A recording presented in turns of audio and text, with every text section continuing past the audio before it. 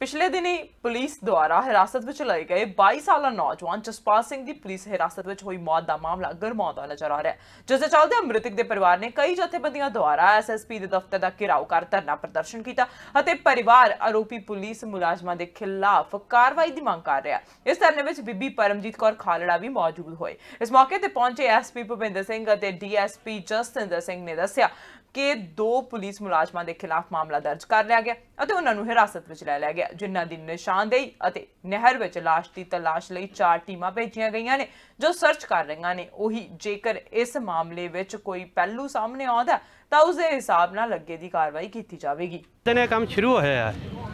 ਉਹ ਮੁੰਡਾ ਆਪਦੇ ਨਾਨਕੇ ਆਇਆ ਹੋਇਆ ਸੀ ਸੰਗਰਾਉਰ ਉਹਨੂੰ ਦੋ ਮੁੰਡਿਆਂ ਨੇ ਫੋਨ ਕੀਤਾ, ਢੁੱਡੀ ਵਾਲਿਆਂ ਨੇ। ਹੁਣ ਮੁੰਡਿਆਂ ਦਾ ਨਾਂ ਤਾਂ ਮੈਂ ਨਹੀਂ ਜਾਣਦਾ ਵੈਸੇ। ਉਹਨਾਂ ਕਿਹਾ ਵੀ ਤੂੰ ਇੱਥੇ, ਇਹ ਆ ਕੀ, ਮਚਾ, ਰੱਤੀ ਰੋੜੀ। ਵੀ ਗੁਰਦਾਰੇ ਆ ਜਾ, ਉੱਥੋਂ ਰੱਤੀ ਰੋੜੀ ਵੀ ਜਿਹੜਾ ਮੁੰਡਾ, ਕਿਸੇ ਦਾ ਬੇਲੀ ਸੀ ਮੁੰਡਾ। ਰਾਤ ਨੂੰ ਉਹਨਾਂ ਨੇ ਸੱਦ ਕੇ ਰੱਤੀ ਰੋੜੀ ਗੁਰਦਾਰੇ ਹੀ ਸੱਦਿਆ। ਹੈ ਉਸ ਤੋਂ ਬਾਅਦ ਪਤਾ ਨਹੀਂ ਉਹਨਾਂ ਦੀ ਮਿਲੀ ਭੁਗਤ ਸੀ ਪੁਲਿਸ ਵਾਲਿਆਂ ਨਾਲ ਕਿਸ ਤਰੀਕੇ ਸੀ। 11 ਵਜੇ ਜਾ ਕੇ ਪੁਲਿਸ ਵਾਲਿਆਂ ਨੇ ਉੱਥੋਂ ਚੁੱਕਿਆ ਨੂੰ ਜੀ ਪੁਲਿਸ ਚੁੱਕ ਕੇ ਲੈ ਆਈ ਜਦੋਂ ਤੜਕੇ 6 ਵਜੇ ਸਾਨੂੰ ਫੋਨ ਕੇ ਆਇਆ ਉਹਨਾਂ ਮੁੰਡਿਆਂ ਦਾ ਹੀ। ਵੀ ਮੁੰਡਾ ਤੁਹਾਡਾ ਜਿਹੜਾ ਪੁਲਿਸ ਚੁੱਕ ਗਈ ਪਤਾ ਨਹੀਂ ਕੀ ਗੱਲ ਆ।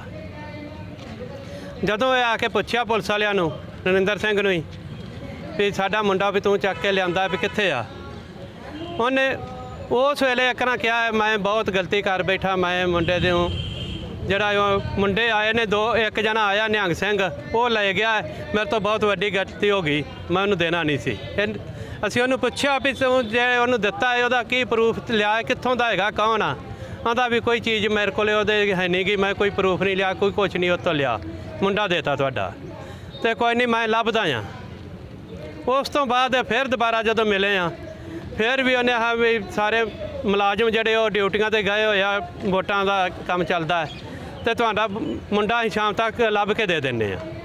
ਸ਼ਾਮ ਨੂੰ 6 ਵਜੇ ਉਹਨੇ ਆਪ ਨੂੰ ਗੋਲੀ ਮਾਰ ਕੇ ਹਾਂਜੀ। ਆਪ ਆਤਮ ਹੱਤਿਆ ਕਰ ਗਿਆ। ਉਸ ਤੋਂ ਬਾਅਦ ਫਿਰ ਦਿਹਾੜੀ ਦਾ ਪੁਲਿਸ ਨੇ ਕੋਈ ਗੱਲ ਨਾ ਸੁਣੀ ਨਾ ਕੀਤੀ ਨਾ ਹੋਈ। ਆਉਂਦੇ ਰਹੇ ਕੁਝ ਨਹੀਂ ਹੋਇਆ। ਅਸਲ ਤੁਹਾਡੇ ਬੇਟੇ ਨਾਲ ਹੋਇਆ ਕੀ ਹੋ ਅਸਲ ਤਾਂ ਇਹ ਹੀ ਹੈ ਵੀ ਨਰਿੰਦਰ ਸਿੰਘ ਲਿਆਇਆ ਚੁੱਕ ਕੇ ਉਹਨੇ ਮਾਰਿਆ। ਹੈ ਮੈਂ ਜੀ ਇਹੋ ਹੀ ਮੰਨਦੀ ਆ ਵੀ ਇੱਕ ਕਲਚਰ ਹੈ ਪੁਲਿਸ ਦਾ। ਉਹਨੂੰ ਇਹ ਚੇਂਜ ਨਹੀਂ ਕਰਨਾ ਚਾਹੁੰਦੇ।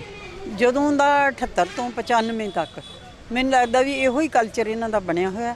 ਤੇ ਅੱਜ ਵੀ ਉਹੋ ਹੀ ਪੁਲਿਸ ਅਫਸਰ ਕਈ ਵਾਰੀ ਹੁੰਦੇ ਆ, ਜਿਵੇਂ ਬਰਗਾੜੀ ਕਾਂਡ ਦੇ ਵਿੱਚ ਪਰਮਰਾਜ ਉਮਰਾ ਨੰਗਲ ਤੇ ਸਮੇਧ ਸੈਣੀ ਵਰਗੇ ਉਹੋ ਹੀ ਲੋਕ ਹੈ ਜਿਨ੍ਹਾਂ ਨੇ ਸਾਡੇ ਹਜ਼ਾਰਾਂ ਬੱਚੇ ਜਿਹੜੇ ਪੁੱਤ ਚੱਕ ਕੇ ਮਾਰੇ ਸੀਗੇ।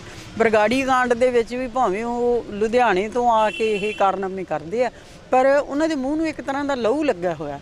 ਤੇ ਅੱਜ ਵੀ ਜੇ ਪੁਲਿਸ ਜਿਹੜੀ ਹੈ ਉਸੇ ਕਲਚਰ ਦੇ ਵਿੱਚ ਕੰਮ ਕਰ ਰਹੀ ਹੈ ਉਸੇ ਤਰ੍ਹਾਂ ਬੱਚੇ ਨੂੰ ਚੱਕਣਾ, ਉਸੇ ਤਰ੍ਹਾਂ ਉਹਨੂੰ ਤਸ਼ੱਦਦ ਕਰਕੇ ਮਾਰ ਦੇਣਾ ਤੇ ਫਿਰ ਲਾਸ਼ ਵੀ ਖੁਰਦ ਬੁਰਦ ਕਰ ਦੇਣੀ। ਇਹ ਮੈਨੂੰ ਲੱਗਦਾ ਹੈ ਪਿਛਲੀਆਂ ਘਟਨਾਵਾਂ ਜਿਹੜੀਆਂ ਲੋਕਾਂ ਨੂੰ ਹੁਣ ਚੇਤੇ ਆ ਰਹੀਆਂ ਜਿਨ੍ਹਾਂ ਦੇ ਇਹਨਾਂ ਨੇ ਬੱਚੇ ਚੱਕ ਕੇ 13 13 ਸਾਲ ਦੇ 70 70 ਸਾਲ ਦੇ ਬਜ਼ੁਰਗ ਸਾਡੀਆਂ ਬੀਬੀਆਂ, ਜਿਨ੍ਹਾਂ ਨੂੰ ਤਸ਼ੱਦਦ ਕਰਕੇ ਇਹਨਾਂ ਨੇ ਲਾਵਾਰਸ ਕਹਿ ਕੇ ਸਾੜਿਆ ਹੀ ਨਹੀਂ, ਦਰਿਆਵਾਂ ਵਿੱਚ ਵੀ ਰੋੜਿਆ। ਮੈਂ ਕਈ ਇਹੋ ਜਿਹੀਆਂ ਬੀਬੀਆਂ ਨੂੰ ਜਾਣਦੀ ਆ ਜਿਨ੍ਹਾਂ ਦੀਆਂ ਲਾਸ਼ਾਂ ਇਹਨਾਂ ਨੇ ਗੰਢੜੀਆਂ ਬੰਨ ਬੰਨ ਕੇ ਦਰਿਆਵਾਂ ਦੇ ਵਿੱਚ ਸੁੱਟਿਆ। ਇਹ ਸਰਕਾਰਾਂ ਦੀ ਸਹਾਇਤਾ ਹੁੰਦਾ ਸਾਰਾ ਕੁਝ ਪੁਲਿਸ ਐਵੇਂ ਇਹੋ ਜਿਹੀਆਂ ਕਾਰਨਾਮੇ ਨਹੀਂ ਕਰਦੀ।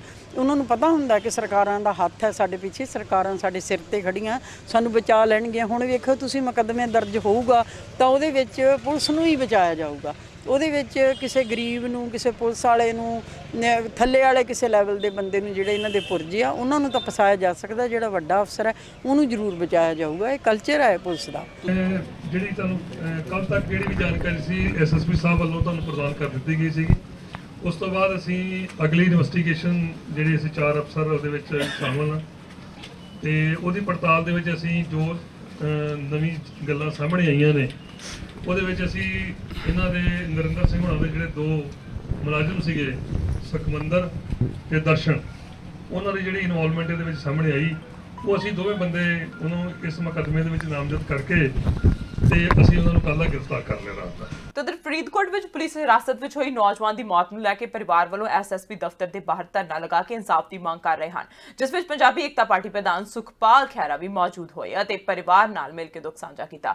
ਉਹੀ ਆਪਣੇ ਭਾਸ਼ਣ ਵਿੱਚ ਉਹਨਾਂ ਨੇ ਇਸ ਘਟਨਾ ਨੂੰ 1984 ਦੇ ਕਾਲੇ ਦੌਰ ਨੂੰ ਦੁਹਰਾਣੇ ਦੀ ਗੱਲ ਕਹੀ, ਪਰ ਇਸ ਮਾਮਲੇ ਵਿੱਚ ਜਦੋਂ ਉਹਨਾਂ ਨੂੰ ਇੱਕ ਸੀਨੀਅਰ ਪੱਤਰਕਾਰ ਦੁਆਰਾ ਸਵਾਲ ਕੀਤਾ ਗਿਆ ਕਿ ਜਿਸ ਕਾਲੇ ਦੌਰ ਦੀ ਤੁਸੀਂ ਗੱਲ ਕਰ ਰਹੇ ਹੋ ਉਸ ਵਕਤ ਤੁਸੀਂ ਕਾਂਗਰਸ ਸਰਕਾਰ ਵਿੱਚ ਸੀ, ਤਾਂ ਇਸ ਸਵਾਲ ਉੱਤੇ ਉਹ ਭੜਕ ਗਏ ਅਤੇ ਕਹਿਣ ਲੱਗੇ ਕਿ ਤੁਹਾਨੂੰ ਕੀ ਇਤਰਾਜ਼ ਹੈ ਜੇਕਰ ਕਾਂਗਰਸ ਵਿੱਚ ਸੀ। ਨਾਲ ਹੀ ਚੇਤਾਵਨੀ ਦਿੰਦੇ ਹੋਏ ਪੱਤਰਕਾਰਾਂ ਨੂੰ ਕਿਹਾ ਕਿ ਆਪਣੇ ਸਵਾਲ ਸੋਚ ਸਮਝ ਕੇ ਕਰੋ। ਇਸ ਤੋਂ ਸਾਫ਼ ਦਿਖਾਈ ਦੇ ਰਿਹਾ ਹੈ ਕਿ ਉਹ ਆਪਣੀ ਹਾਰ ਨੂੰ ਦੇਖਦੇ ਹੋਏ ਬੁਖਲਾ ਚੁੱਕੇ ਨੇ ਤੇ ਮੀਡੀਆ ਦੇ ਸਵਾਲਾਂ ਤੋਂ ਭੱਜ ਰਹੇ ਨੇ ਅਤੇ ਸਵਾਲਾਂ ਦਾ ਜਵਾਬ ਦੇਣ ਦੀ ਬਜਾਏ ਉਹਨਾਂ ਨਾਲ ਉਲਝਣ ਲੱਗੇ ਨੇ। ਇਥੋਂ ਲੱਗ ਰਿਹਾ ਕਿ ਉਹਨਾਂ ਦਾ ਕਾਂਗਰਸ ਪ੍ਰਤੀ ਪਿਆਰ ਫਿਰ ਤੋਂ ਜਾਗ ਰਿਹਾ ਜਾਂ ਫਿਰ ਹਾਰਨੇ ਦੇ ਬਾਅਦ ਦੁਬਾਰਾ ਕਾਂਗਰਸ ਵਿੱਚ ਜਾਣ ਦੀ ਪਲੈਨਿੰਗ ਤਾਂ ਨਹੀਂ ਚੱਲ ਰਹੀ ਜੋ ਕਾਂਗਰਸ ਦੇ ਖਿਲਾਫ ਕੁਝ ਸੁਣਨਾ ਨਹੀਂ ਚਾਹੁੰਦੇ। ਇਸ ਦੇ ਬਾਅਦ ਉਹਨਾਂ ਨੇ ਸਮਰਥਕਾਂ ਦੁਆਰਾ ਮੀਡੀਆ ਦੇ ਖਿਲਾਫ ਨਾਅਰੇਬਾਜ਼ੀ ਸ਼ੁਰੂ ਕਰ ਦਿੱਤੀ ਜਿਸ ਤੇ ਦੁਆਰਾ ਵੀ ਖੈਰਾ ਦੇ ਖਿਲਾਫ ਨਾਅਰੇਬਾਜ਼ੀ ਕਰਨੀ ਸ਼ੁਰੂ ਕਰ ਦਿੱਤੀ ਗਈ।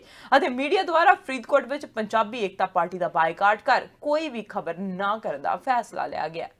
ਦੇਖੋ ਇਹ ਪੂਰਾ ਪੂਰਾ ਜੋ ਸਿੱਖ ਉਸ ਵੇਲੇ ਅ, ਖਾੜਕੂ ਲਹਿਰ ਦੇ ਵਿੱਚ ਜਿੱਦਾਂ ਸਿੱਖਾਂ ਦੀ ਨਸਲਕੁਸ਼ੀ ਕੀਤੀ ਗਈ ਆ ਅੱਜ ਸਾਡੀ ਭੈਣ ਪਰਮਜੀਤ ਕੌਰ ਖਾਲੜਾ ਵੀ ਇਸ ਧਰਨੇ 'ਚ ਆਏ ਨੇ। ਜਿੱਦਾਂ ਉਹਨਾਂ ਦੇ ਪਤੀ ਨੂੰ 6 ਸਪਟੈਂਬਰ 1995 ਵਿੱਚ ਚੁੱਕ ਕੇ ਜਸਵੰਤ ਸਿੰਘ ਖਾਲੜਾ ਨੂੰ ਉਹਨਾਂ ਨੇ ਪੁਲਿਸ ਵਿੱਚ ਹਿਰਾਸਤ 'ਚ ਲੈ ਕੇ ਤੇ ਮੁੜ ਕੇ ਉਹਨੂੰ ਮਾਰ ਦਿੱਤਾ ਸੀਗਾ। ਅੱਜ ਜਸਪਾਲ ਸਿੰਘ ਦੇ ਨਾਲ ਵੀ ਉਹੀ ਵਾਪਰਿਆ। ਸਾਨੂੰ ਇਹ ਅੱਛੀ ਤਰ੍ਹਾਂ ਇਲਮ ਆ ਕਿ ਪੰਜਾਬ ਪੁਲਿਸ ਦਾ ਰਵੱਈਆ ਜੋ ਉਸ ਵਕਤ ਸੀਗਾ 80 ਤੇ 90 ਦੇ ਦਹਾਕੇ ਵਿੱਚ ਉਹਦੇ ਨਾਲੋਂ ਕੋਈ ਅੰਤਰ ਨਹੀਂਗਾ। ਆਮ ਜਨਤਾ ਦੇ ਨਾਲ ਅੱਜ ਵੀ ਬਹੁਤ ਵੱਡੇ ਪੱਧਰ ਤੇ ਬੇਇਨਸਾਫੀ ਹੋ ਰਹੀ ਹੈ। ਤੁਹਾਨੂੰ ਲੱਗਦਾ ਕਿ ਕਿਤੇ ਪਰਿਵਾਰ ਨੂੰ ਇਨਸਾਫ ਮਿਲ ਸਕਦਾ ਦੇਖੋ ਐਸਆਈਟੀ ਤਾਂ ਅਮਰਿੰਦਰ ਸਿੰਘ ਦੀ ਤੇ ਕਮਿਸ਼ਨ ਤਾਂ ਅੱਜ ਤੱਕ ਗੁਰੂ ਗ੍ਰੰਥ ਸਾਹਿਬ ਨੂੰ ਇਨਸਾਫ ਨਹੀਂ ਦੇ ਸਕੇ। ਤੇ ਫਰੀਦਕੋਟ ਦੇ ਇਸ ਜਿਹੜਾ ਬਹੁਤ ਵੱਡਾ ਇੱਕ ਇਸ਼ੂ ਉੱਠਿਆ ਪੁਲਿਸ ਕਸਟੋਡੀਅਲ ਡੈਥ ਵਿੱਚ ਇੱਥੋਂ ਕਿੱਥੋਂ ਇਨਸਾਫ ਦੇ ਦੇਵੇਗੀ? ਤਾਂ ਹੀ ਉਹ ਅਸੀਂ ਕਹਿ ਰਹੇ ਹਾਂ ਕਿ ਅਮਰਿੰਦਰ ਸਿੰਘ ਨੂੰ ਹੁਣ ਤੱਕ ਨਿਆਇਕ ਜਾਂਚ ਸੈਸ਼ਨ ਜੱਜ ਫਰੀਦਕੋਟ ਦੀ ਆਰਡਰ ਕਰ ਦੇਣੀ ਚਾਹੀਦੀ ਸੀਗੀ। ਨਹੀਂ ਕਰਨਗੇ ਤਾਂ ਅਸੀਂ ਕੱਲ ਤੱਕ ਕੋਸ਼ਿਸ਼ ਕਰਾਂਗੇ ਕਿ ਅਸੀਂ ਹੇਬੀਅਸ ਕਾਰਪਸ ਪਟੀਸ਼ਨ ਫਾਈਲ ਕਰਕੇ ਹਾਈ ਕੋਰਟ ਮੂਵ ਕਰਾਂਗੇ। ਕਾਲੇ ਦਿਨਾਂ ਦੀ ਗੱਲ ਕੀਤੀ। ਤੁਸੀਂ ਆਪ ਕਾਂਗਰਸ 'ਚ ਰਹੇ ਉਹਨਾਂ ਚਿਰ। ਜਦੋਂ ਤੱਕਰ ਤੁਸੀਂ ਕਾਂਗਰਸ 'ਚ ਉਦੋਂ ਕਾਂਗਰਸ ਠੀਕ ਸੀ। ਤੇ ਅੱਜ ਉਹ ਗਲਤ ਹੋ ਗਈ ਤੁਹਾਡੇ ਚੜਨ ਤੋਂ? ਤੁਹਾਨੂੰ ਕੀ ਤਕਲੀਫ ਹੈ ਜੀ ਇਸ ਮੇਰੇ ਕਾਂਗਰਸ ਰਹਿਣ ਨਾਲ? ਮੈਂ ਹਮੇਸ਼ਾ ਬੋਲਦਾ ਰਿਹਾ। ਅੱਜ ਅੱਜ ਦਾ ਇਸ਼ੂ ਅੱਜ ਦਾ ਇਸ਼ੂ ਦੇਖੋ ਤੁਸੀਂ। ਬੋਲਦਿਆਂ ਦੀ ਗੱਲ ਨਹੀਂ। ਮੈਂ ਹਮੇਸ਼ਾ ਕਾਲੇ ਕੀਤਾ। ਦਿਨਾਂ ਦੀ ਗੱਲ ਕੀਤੀ ਤੇ ਕਾਲੇ ਦਿਨਾਂ 'ਚ ਤੁਸੀਂ ਅੱਜ ਦੇ ਗੱਲ ਦੀ ਗੱਲ ਕਰੋਗੇ ਜੀ ਪਲੀਜ਼ ਮੈਂ ਕਾਂਗਰਸ ਵਿੱਚ ਰਹਿ ਕੇ ਹਰ ਵਧੀਕੀ ਦੀ ਕੰਡੈਮਨੇਸ਼ਨ ਕੀਤੀ ਆ। ਹਰ ਕਸਟੋਡੀਅਲ ਡੈਥ ਦੀ ਕੰਡੈਮਨੇਸ਼ਨ ਕੀਤੀ ਤੁਹਾਨੂੰ ਨਹੀਂ ਪਤਾ। ਮੈਂ ਆਪਣੇ ਹਲਕੇ ਦੇ ਵਿੱਚ ਸਾਲਾਂ ਤੋਂ ਇਸ ਲਾਈਨ 'ਚ ਹੈ ਜੀ ਮੈਨੂੰ ਸਾਰਾ ਪਤਾ। ਆਮ ਸੌਰੀ ਜੀ ਤੁਸੀਂ। ਬਾਇਸਡ ਕੁਐਸਚਨ ਪੁੱਛ ਰਹੇ ਹੋ। ਤੁਸੀਂ ਪਾਰਟੀਬਾਜ਼ੀ ਤੇ ਪੱਖਪਾਤੀ ਸਵਾਲ ਕਰ ਰਹੇ ਹੋ। ਮੈਂ ਇਨਸਾਨੀਅਤ ਦੀ ਲੜਾਈ ਅੱਜ ਦਾ ਨਹੀਂ, ਕਈ ਦਹਾਕਿਆਂ ਤੋਂ ਲੜ ਰਿਹਾ। ਕਾਈਂਡਲੀ ਪਲੀਜ਼ ਆਪਣਾ ਨਾ ਆਪਣਾ ਰਵੱਈਆ ਠੀਕ ਰੱਖੋ। ਤੁਸੀਂ ਤੁਸੀਂ ਤੁਸੀਂ ਤੁਸੀਂ ਸਵਾਲ ਪੁੱਛਣ ਲੱਗੇ। ਸਵਾਲ ਪੁੱਛਣ ਲੱਗੇ ਤਾਂ ਦੇਖਿਆ ਕਰੋ ਨਾ।